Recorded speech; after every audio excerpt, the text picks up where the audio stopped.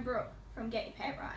Today I'll explain to you briefly how to set up our Python setup and it is important to notice that with all of our tanks they do become stackable so you can use, we have the 60 centimetre, the 80 centimetre and also the 120 centimetre and you can safely stack three of those on top of each other.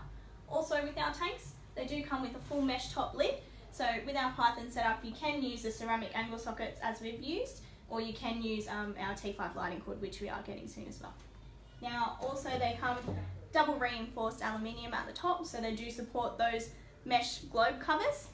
With the Python obviously mesh globe covers are essential because they can climb up and constrict the lights. You don't want them to burn themselves or to crush the UV light. Now we have just used our 100 watt infrared in this. Um, it does aid for better viewing of the animal at night. We do also carry ceramics in the 75, 100 and 150 watt. Now with the UV, we've just used the 26 watt 5.0, which is beneficial for most pythons. And It does aid to add another UV as well. Normally the 26 watt 2.0 does help with the viewing of the animal also. Now we've just used a normal substrate in the bottom, um, like the coco peat does help with humidity, um, which does aid with the shedding process of the animal. We have also used a large Get Your Pet Right Python bowl, which does also aid with the shedding process. We've just put a small background on the bottom, just a paper background. We do also sell the 3D backgrounds. We've used a fern just as decoration.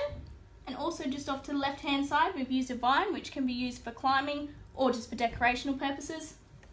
We have got a hide just under the heat source there. Obviously that's for your animal to escape view. Um, we do also stock with all of our tanks the Get Your Pet Right lock, um, which is important with any python. Also, the high viewing system prevents from the substrate from coming out of the tank. Also aids for nice natural clear viewing of the animal.